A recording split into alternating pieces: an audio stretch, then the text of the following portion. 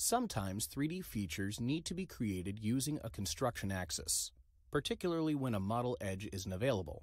This makes the design process much more flexible, allowing for the construction axis to control the model geometry. Let's take a look at how to create a few different types of axes, including the axis through cylinder cone torus, axis through two planes, and axis perpendicular to face at point. The axes commands can be enabled from two locations, from the Construct drop-down menu or in the right-click menu under Construct.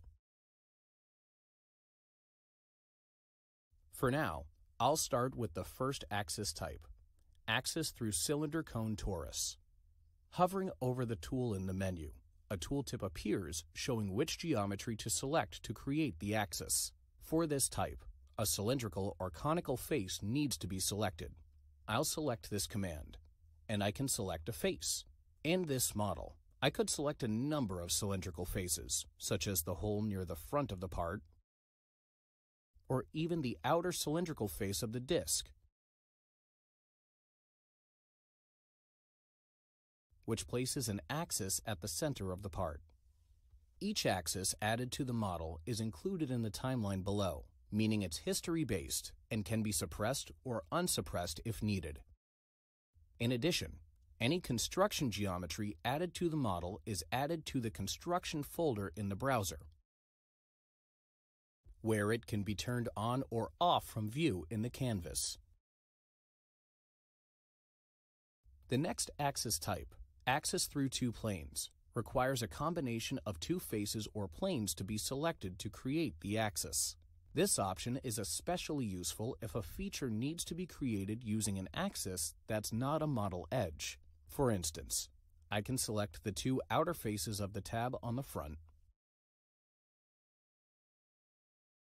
and the axis is created where the two faces would intersect if they were extended.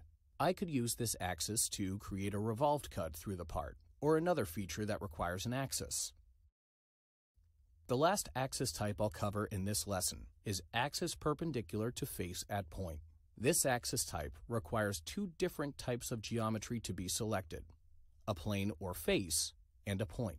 This axis type is useful when needing to create an axis normal to a face at a specific location. I'll enable the command, then select this top face on the disk. And to select a specific point, I'll show a sketch I created earlier.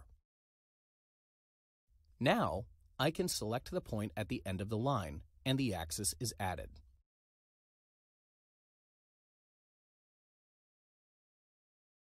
There are a number of other axis options available, which give a detailed description in the tooltip of how they operate and how they're created.